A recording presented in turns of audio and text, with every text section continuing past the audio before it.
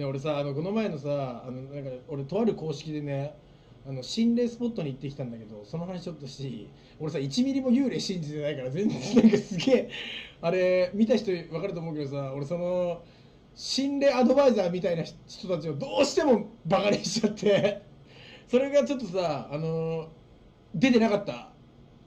表出してなかったよな。何言ってんだこのバカどもっていうオーラ出てなかったよね。隠しきれてた。出てた。やっぱ出てたんだ。どうもねやっぱ幽霊って信用できないんだよな。自分の目で見えるもの信用できなくてさ。あれダメだ。よくねえとこだよな。俺の。もうあの手の仕事も受けちゃダメだなと思った俺。無理やんだもん。何を言ってんだこのバカどもは。いい大人だってなっちゃうよね。ダメなんだよな。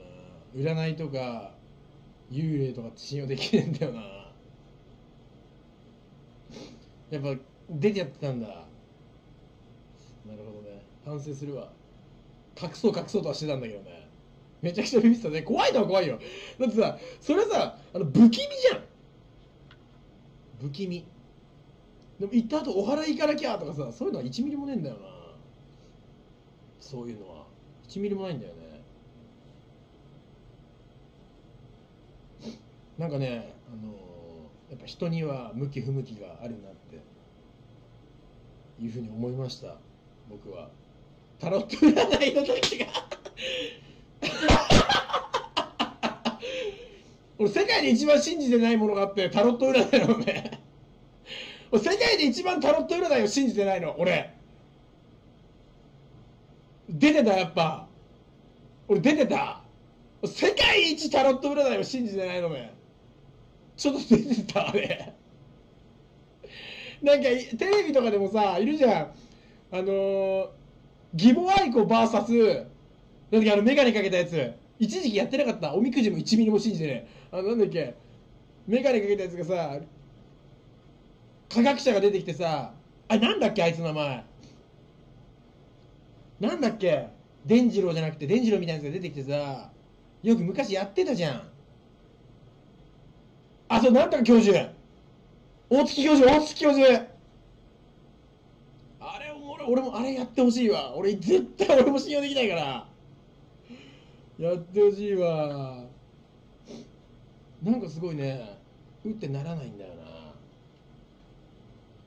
かといってなんかその本人たちいや俺違いますよ。光の加減ですよみたいなのを言うのは俺違うと思うんだよ。あれ雰囲気を楽しむものだと思ってるから。でもやっぱ信用できないんだよね。ミスターマリックはあるじゃん。あのマジシャンだから種があるじゃん。もう本人も言ってるじゃん。種がありますって。ちょっとだからあれなんだよな。1ミクロもいい占いも信じてないし悪い占いも信じてないからさ。そのグレーをな楽しめるのは大人なんだやはり。ラブミードゥはやっぱ人生の先輩だからある程度リスペクトはしてんだけど1ミリも信じてない。ごめん。俺占い信じないんだよ本気で。信じないんだよな。当たったら当たったでわーってそこだけスポット当たるけど当たらないことが大多数でしょ。新宿の母。で加藤純一 VS 新宿の母やりたい。俺は。あと過剰に占い信じてるやつももうあの交わらないって決めてる。特に異性女。いるだろう。宗教とかやった方がまだいいんじゃないのかなって。俺俺に押し付けなきゃ別にどうでもいい。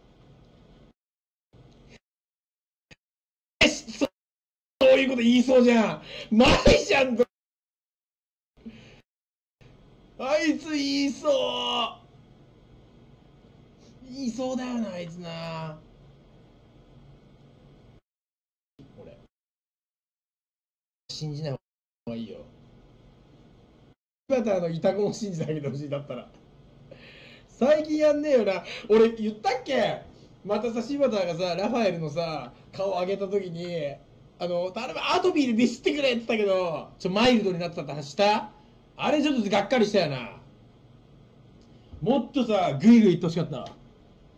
もっとグイグイ。見ように言っちゃうアートビー別に。アートビーになってくれって言ったわけじゃなくて。なんかねそこはアートビー推ししてほしかった。音割れすごいマジで